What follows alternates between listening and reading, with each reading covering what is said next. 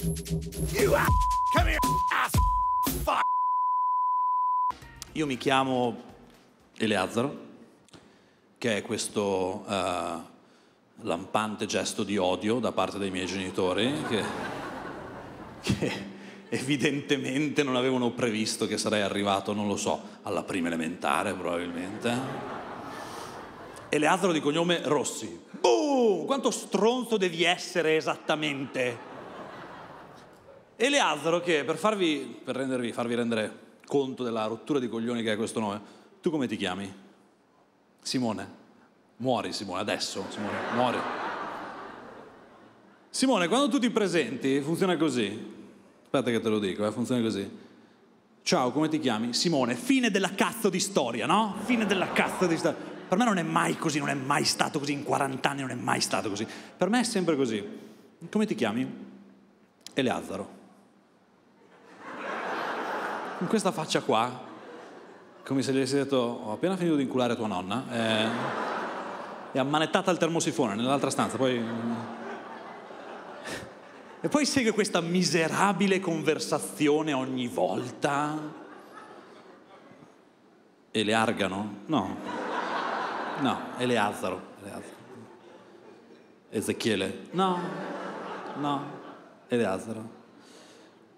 Ibuprofene. Ibuprofene, vaffanculo, andata, ibuprofene. Eleazaro, nome ebraico, ok? Nonostante io non sia, non sia, ebreo, la mia famiglia non è di origine ebraica, non so perché ci tengo a specificarlo con questa veemenza, non c'è, non c'è niente di male nell'essere ebreo, ok? Non c'è niente di male nell'essere ebreo.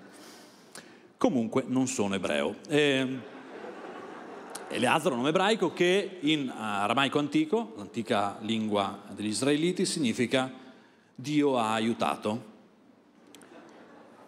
Grazie vecchio. Sono... La prossima volta non ti disturbare, siamo a posto così, non ti... E...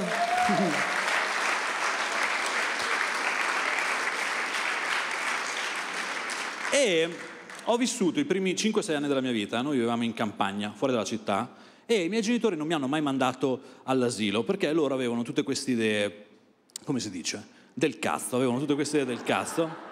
E quindi io sono cresciuto con pochissime iterazioni con bambini della mia età e sono cresciuto con la convinzione granitica proprio che Eleazaro fosse un nome normale, comune, diffuso il giusto, ok? Opinione che si è infranta contro la realtà il primo giorno di prima elementare, quando è arrivato il pulmino che mi avrebbe portato a scuola, io sono salito tutto carico, molto felice, molto felice perché pensavo finalmente faccio amicizia con qualcuno, eh, salgo sul pulmino, si avvicina un ragazzo di quarta che si chiamava Alberto Casali ed è morto di eroina a 18 anni, sono contento di questa cosa, se lo meritava completamente. Si avvicina, si avvicina questo bambino di quarta e mi dice come ti chiami? E io dico Eleazzaro e lui mi dice Eleazzaro? E qualcosa si rompe dentro di me perché era la prima volta che sentivo storpiare il mio nome, però era un accento, era un errore piccolo, poteva andare molto peggio. E infatti è andata molto peggio subito dopo, perché ha detto Eleazzaro Melanzana, che non si assomiglia per un cazzo. Se non fosse che un pochino si assomiglia, vaffanculo.